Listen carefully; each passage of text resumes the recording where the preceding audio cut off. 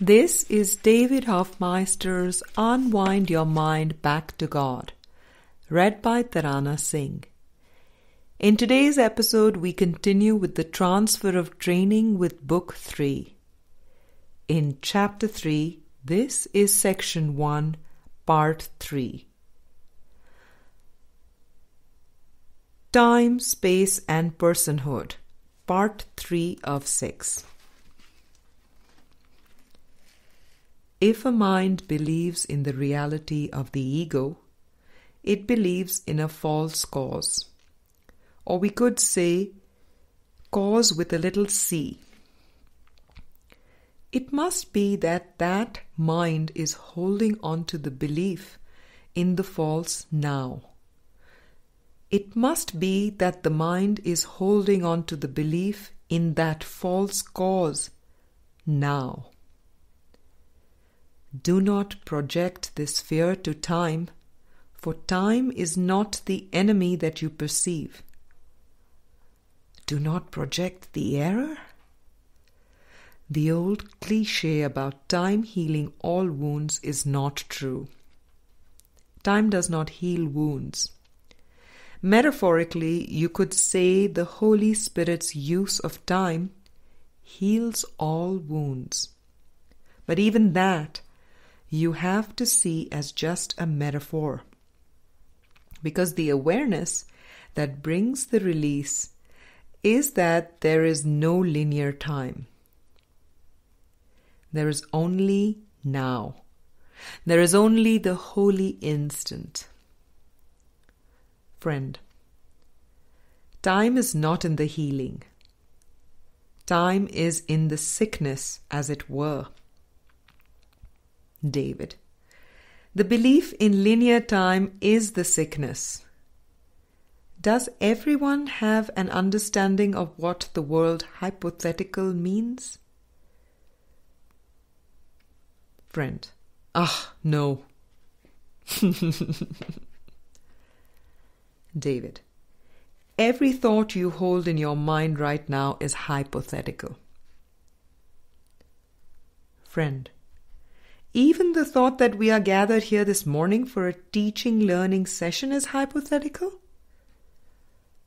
David.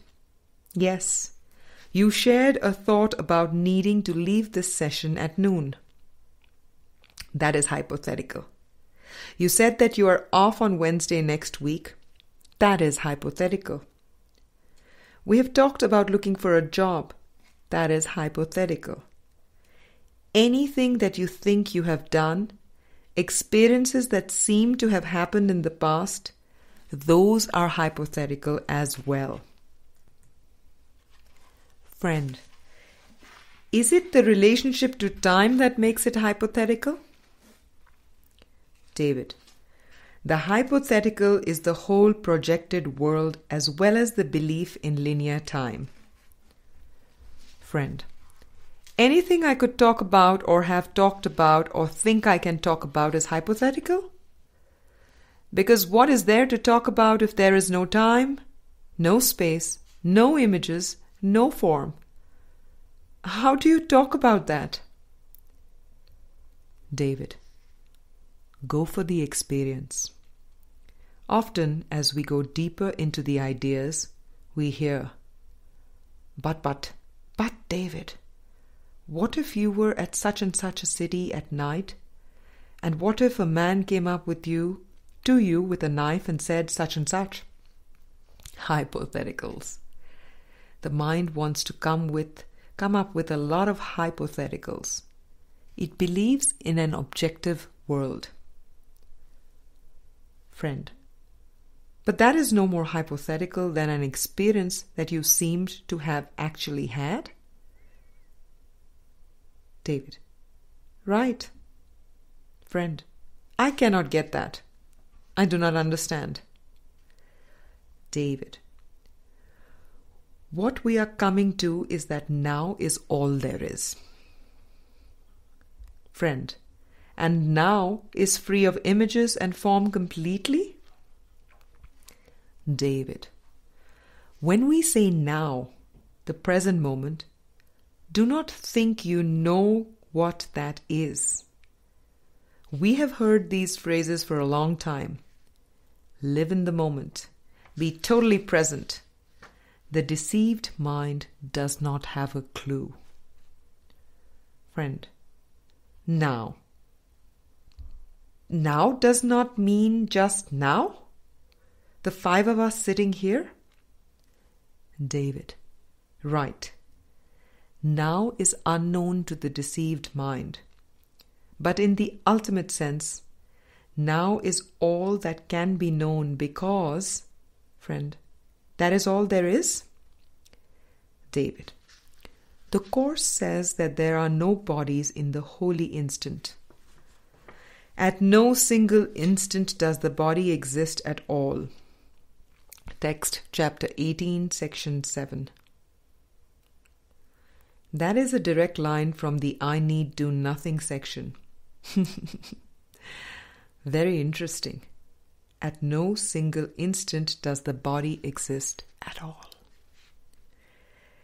That is what makes this seeming perception hypothetical. Hypothetical is the belief that cause and effect are apart, or that there is a gap between cause and effect. Everything in this world is part of a fixed delusional system made up of distorted cause and effect relationships.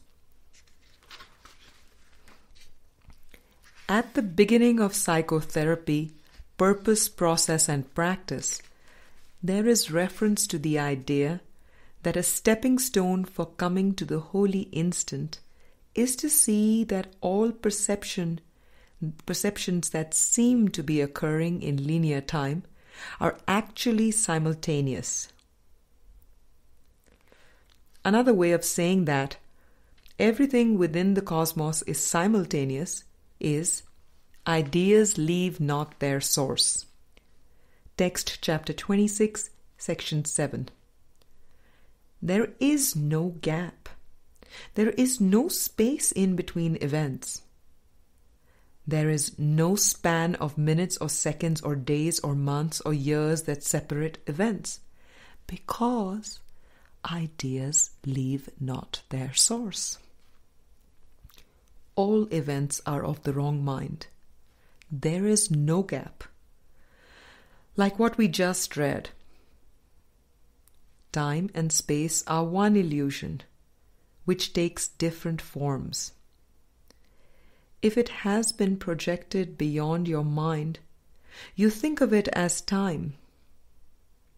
The nearer it is brought to where it is, the more you think of it in terms of space. Text chapter 26, section 8. Time and space are just this little gap in between cause and effect. But the Course is telling you, and I am telling you, there is no gap between cause and effect. And if there is no gap between time and space, there is no personhood. Friend, because that is where personhood is? In the gap? David, the gap that isn't. Friend, that isn't? Well, it seems to be. David, that is the subject object split. Friend, I feel like I'm running to catch up here. Can you say that in another way? David, it can be said in many ways. The subject object split that we talked about can only be equated with that gap. No matter how you come at it, you have just to see the impossibility of that gap. The whole teaching of the Course is that there is no gap between cause and effect. There is no such thing as linear time. Friend, but by hanging on to linear time and personhood, I hold on to the gap. It is like I am struggling to hold cause and effect apart. David, the whole point of mysticism is to come to see that cause and effect are not apart and there are no logistics to handle. everything that seems to be done in the world is perceived within the basic assumption that cause and effect are separate. That you have to do certain things to have other things happen. If I apply for non profit status, fill out all the forms, and continue to be persistent, then non profit status will be granted. Cause and effect. If I plant some seeds in fertile soil in the sun and water them, the seeds will grow. The teachings of the Course are saying this is ludicrous. The world of images is a projection of unreal effects that are coming from an unreal cause. Think about the motion picture projector analogy for a moment. There is a projector and there is film going through it.